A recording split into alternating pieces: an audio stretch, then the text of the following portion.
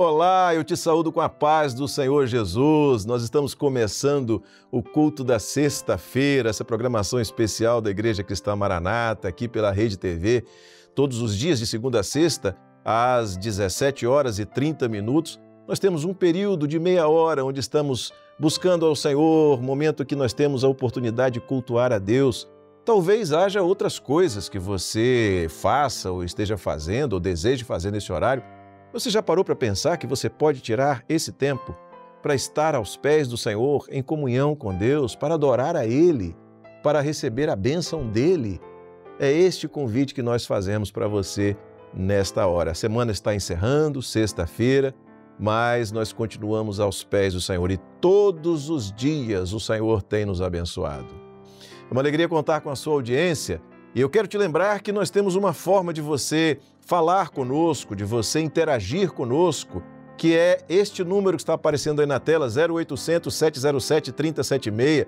Tem também um QR Code aí ao lado, você pode apontar a câmera do seu celular para esse QR Code e o seu aparelho é, será direcionado para uma ligação que é gratuita, você não vai gastar nada para fazer essa ligação. Você vai fazê-la se você precisar, naturalmente. Se você precisar de uma oração, eu preciso de oração. Sempre estou pedindo aos pastores que orem por mim. E você? Você tem recebido oração? Você tem ouvido a voz do Senhor? Você tem ouvido a palavra da parte de Deus? Você pode telefonar para esse número e haverá sempre, 24 horas por dia, alguém para te atender e este alguém não vai causar qualquer constrangimento a você, não vai te pedir nada. Você tem a oportunidade é, de ouvir uma palavra da parte do Senhor e uma oração que você é, vai ter ali para que Deus abençoe a sua vida. E nós vamos dar início a esse momento, nós vamos dar início a esse culto e nós vamos fazer uma oração. A partir de agora, nós vamos nos colocar numa posição de comunhão com o Senhor, numa posição de adoração ao seu nome, numa posição em que a comunhão com Ele é uma experiência real. E eu vou convidar você agora para juntos orarmos. Se for possível, feche os seus olhos por alguns, alguns instantes apenas, para que nós possamos orar ao Senhor. Vamos juntos orar nesse instante. Senhor, nós clamamos pelo poder que há no sangue do Senhor Jesus.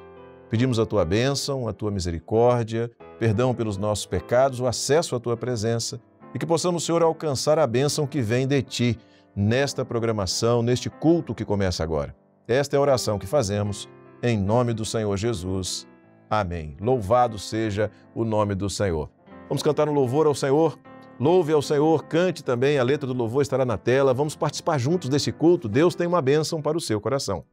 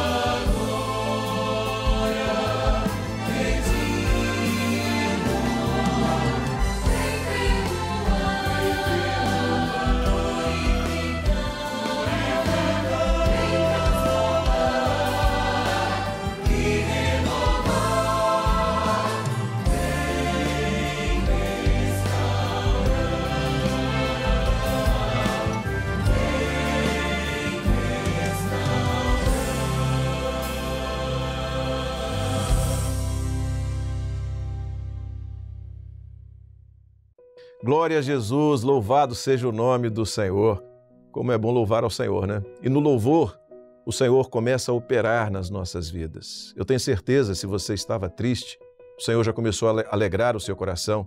Se você estava ansioso, ansiosa, se você estava preocupado, se o momento era um momento de luta, um momento de aflição, já o Senhor começou a operar na sua vida. Louvado seja o nome do Senhor. Essa é a experiência de servirmos ao Senhor. Nós vamos cantar ainda mais um louvor ao Senhor.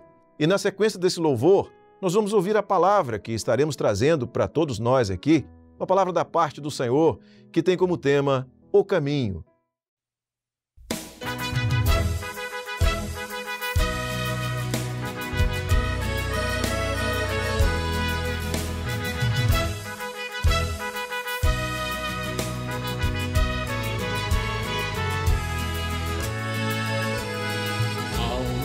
Cansada, não desesperes, espera em Deus.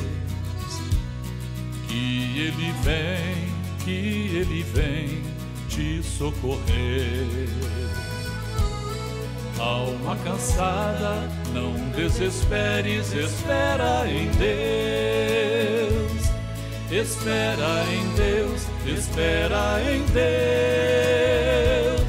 e no seu poder.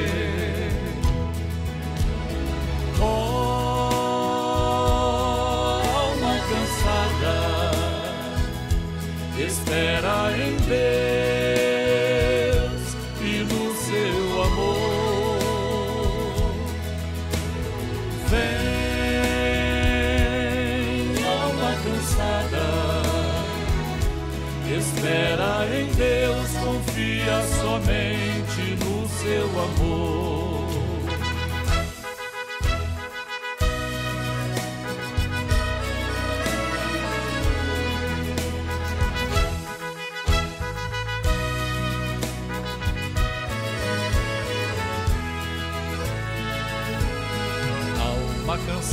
o teu lamento não resolverá.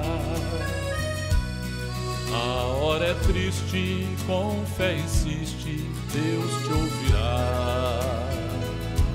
Se teus momentos trazem tormentos que fazem chorar, Deus te chama agora, ó vem sem demora em paz descansar.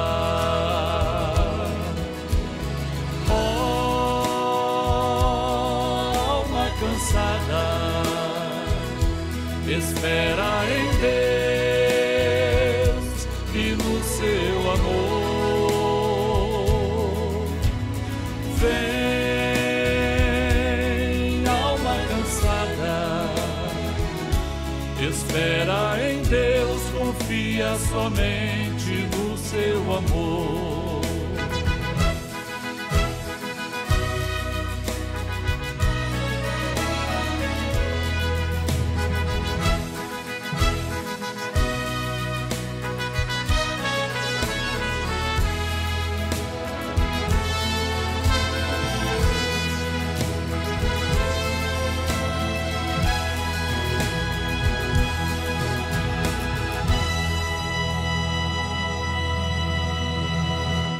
Louvado seja o nome do Senhor.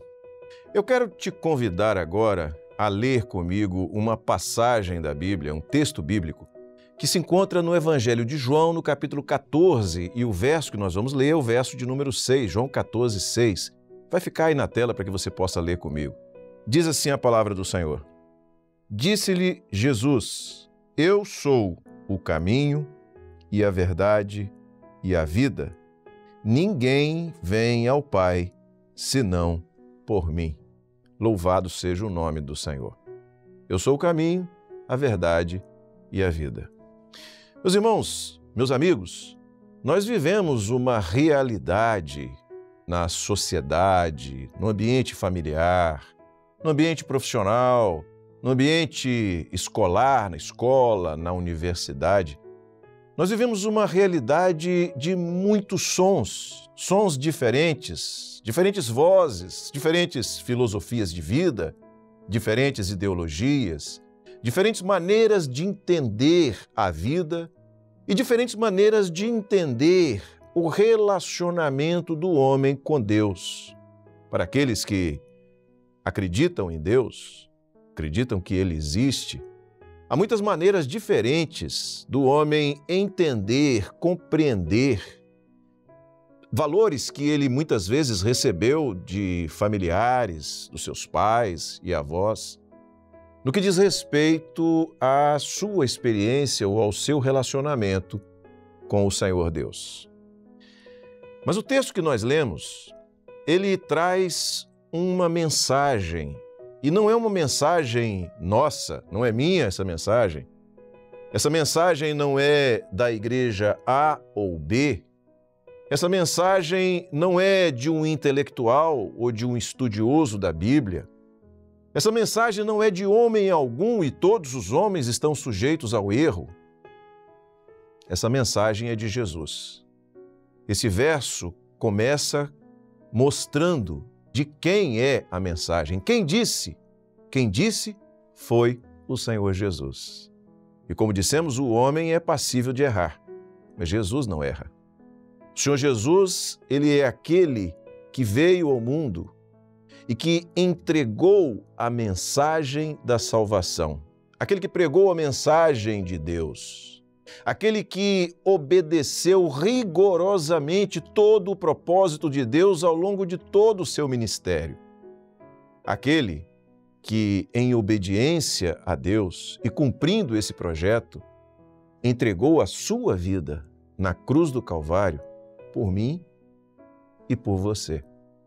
É esse Jesus. É o Filho de Deus. É aquele em quem estava a vida, ou quem está a vida. É aquele que, na realização do, seu ministério, é, que era a própria palavra de Deus, o Verbo que se fez carne, é o que diz a Bíblia. Esse Jesus foi quem entregou essa mensagem é para nós esta mensagem e a mensagem vem dele, de Jesus. E nessa mensagem, o Senhor Jesus disse: Eu sou o caminho, a verdade e a vida, e ninguém vem ao Pai senão por mim.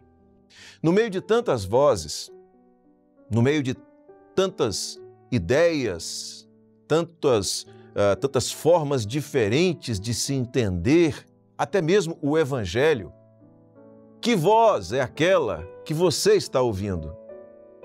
É a voz da religião? É a voz da filosofia? É a voz é, do seu próprio entendimento? Eu acho que deve ser assim ou daquela outra forma? Por que que hoje você não ouve a voz de Jesus? Jesus, ele está falando para você. Jesus é quem está falando. Nós não estamos aqui falando daquilo que nós achamos que é a verdade. Nós estamos falando aquilo que Jesus disse. Quem diz é Ele. O homem, ao homem, cabe ouvir ou não aquilo que Jesus diz.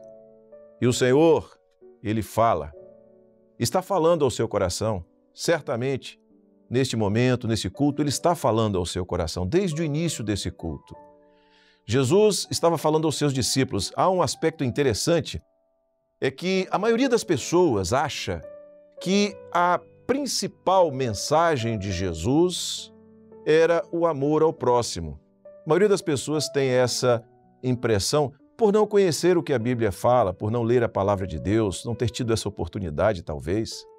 Mas a mensagem de Jesus, durante todo o seu ministério, não foi essa.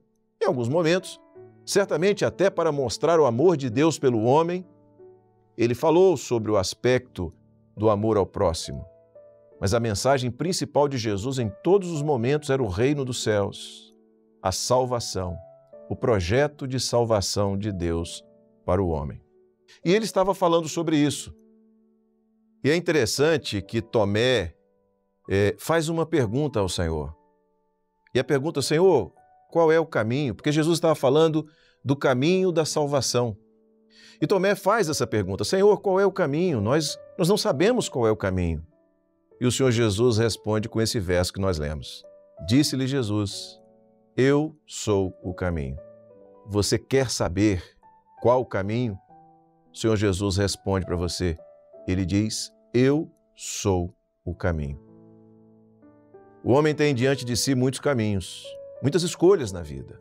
Desde quando nascemos, há inúmeras, incontáveis escolhas que nós temos que fazer, com exceção de uma que nós não podemos fazer. A única coisa certa que o homem tem quando nasce é que um dia ele deixará esta vida. É a única coisa certa. Não há escolha para isso. Mas o que vai acontecer entre esses dois momentos vai definir muitas coisas, não só nesta vida, mas também na vida eterna. Há muitos caminhos diante do homem, há muitas ideias diferentes de como ter uma experiência com Deus, e o objetivo que Jesus está falando aqui é o de ter uma experiência verdadeira com Deus. E Jesus disse: Eu sou o caminho. Ele não disse eu sou um caminho. Ele não disse eu sou uma alternativa para que o homem chegue ao Pai. Ele não disse eu sou uma das escolhas possíveis. Ele disse eu sou o caminho. É interessante que o Senhor Jesus estabelece quatro certezas nesta fala dele. A primeira é essa: eu sou o caminho. Quantas vezes na sua vida você se sentiu sem saber para onde ir? Quantas vezes você ficou desesperado ou desesperada por não ver um caminho colocado diante de você, Jesus se apresenta para você e diz: Eu sou o caminho. Falta-lhe um caminho, Jesus é o caminho. E ele continua dizendo: Eu sou a verdade. Meu amigo, meu irmão, certamente que esta expressão do Senhor Jesus só pode ser dita por aquele que estava desde o início da fundação do mundo, por aquele que venceu a morte, está vivo, e aquele que voltará para buscar a sua igreja, só pode ser dita pelo Filho do grande e maravilhoso Deus, eterno Deus, a verdade. O que é verdade? Ou o que é a verdade?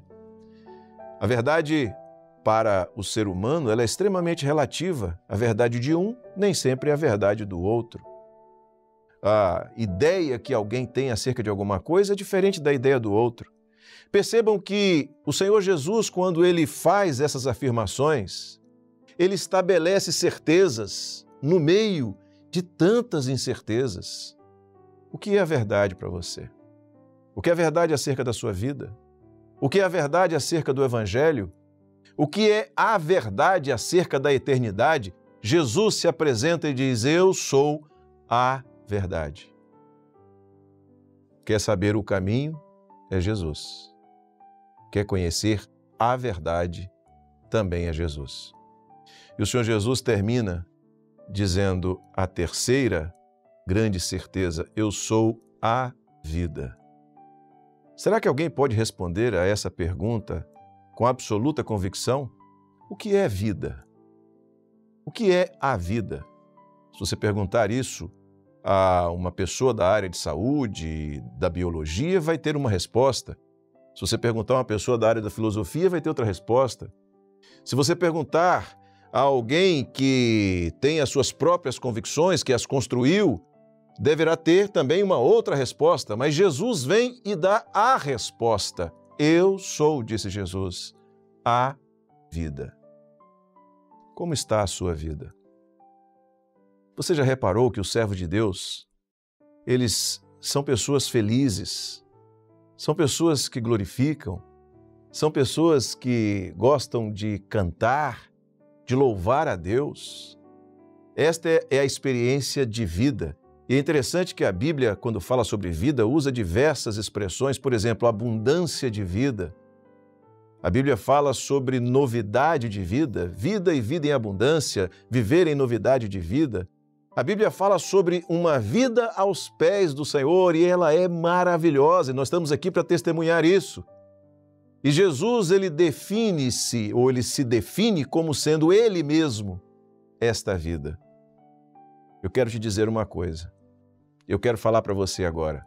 Quando Jesus entra no coração do homem, há uma transformação tão maravilhosa que é impossível de explicar se a pessoa não conseguir vivê-la ou não vivê-la.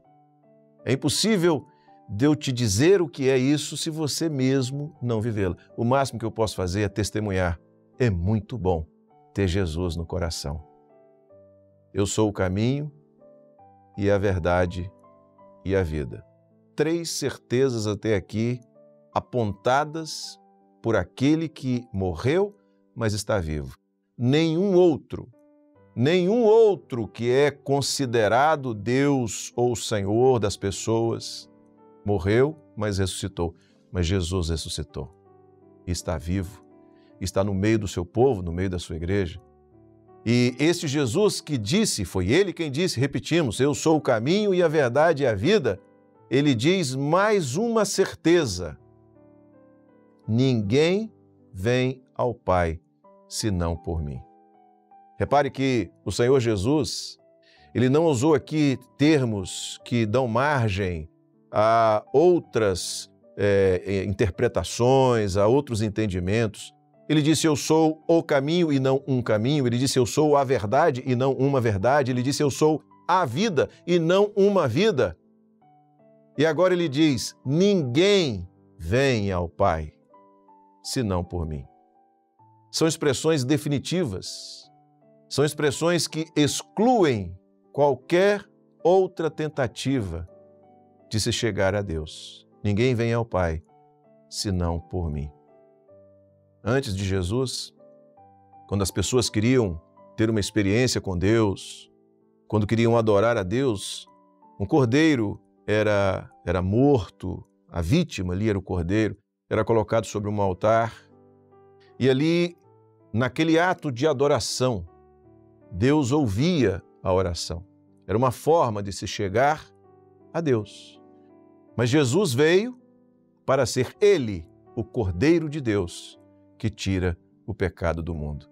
Ele foi à cruz do Calvário, para que só através dele, o Cordeiro de Deus, nós pudéssemos chegar a Deus, pudéssemos ter uma experiência com Deus. Eu quero te perguntar uma coisa: você precisa de Deus? Eu preciso. Você precisa dele na sua vida? Eu preciso. Você quer ter uma experiência com ele? Eu quero. Não sei se você quer, mas se você quiser, este texto, esta mensagem de Jesus, repare que nós não estamos aqui é, fazendo conjecturas, não estamos é, inserindo quaisquer compreensão humana, nós estamos aqui falando de uma mensagem clara e objetiva. Disse Jesus: Eu sou o caminho e a verdade e a vida, e ninguém vem ao Pai senão por mim. Você quer chegar a Deus? Abra o seu coração, deixe Jesus entrar e você vai ter uma verdadeira experiência com Ele. Nós não estamos aqui te chamando para ter uma experiência com uma religião. Nós estamos te chamando, nós estamos te convidando a ter uma experiência com Deus. Eu sou o caminho, disse Jesus, a verdade e a vida. E ninguém vem ao Pai senão por mim. Você quer ter uma experiência com Deus? Verdadeira. Abra agora o seu coração. Deixe Jesus entrar e, através dele, na sua vida, você chegará ao Pai.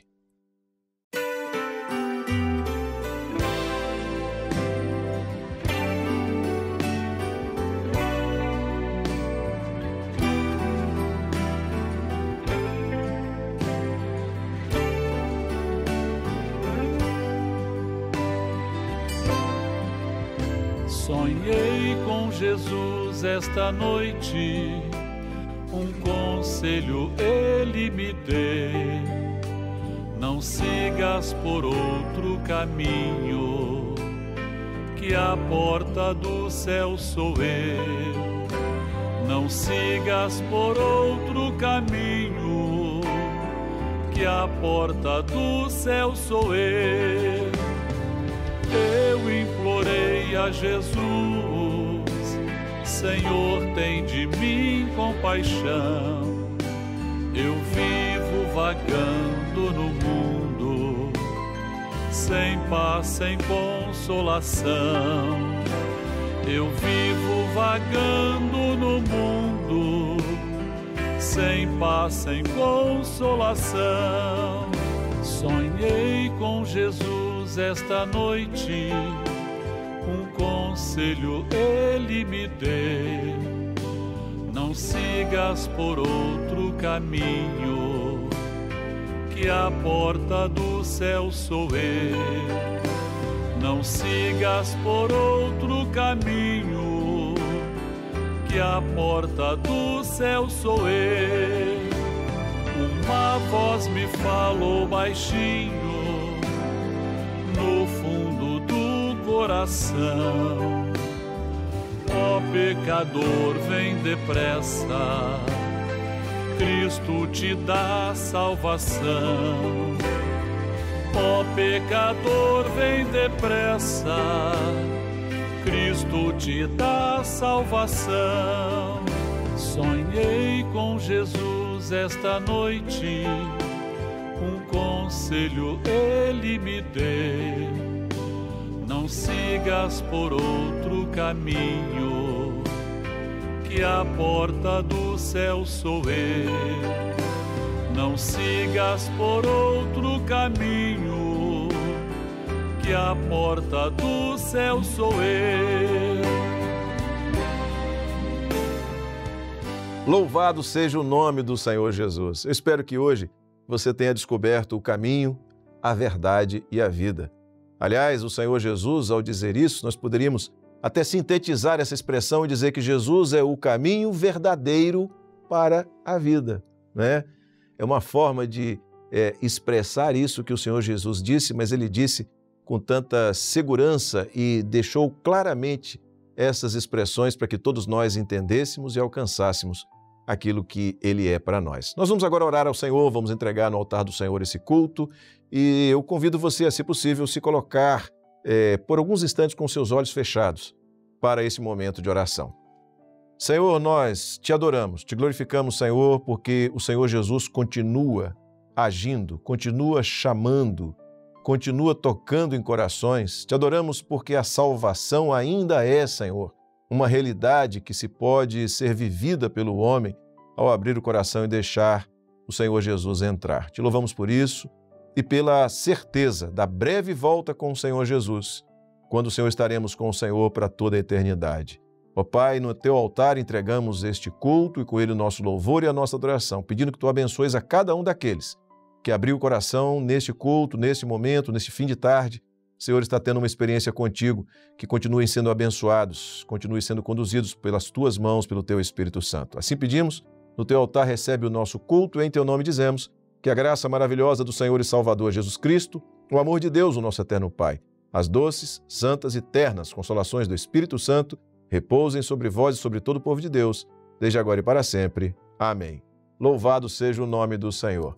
E amanhã, sábado, Estaremos a partir da uma da tarde aqui na Rede TV e você vai poder assistir, participar do culto. Será uma alegria também contar com a sua audiência.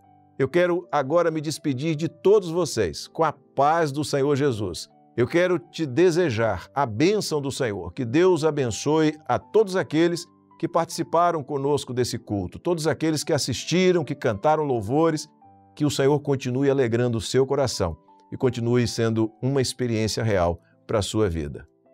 Maranata, o Senhor Jesus vem.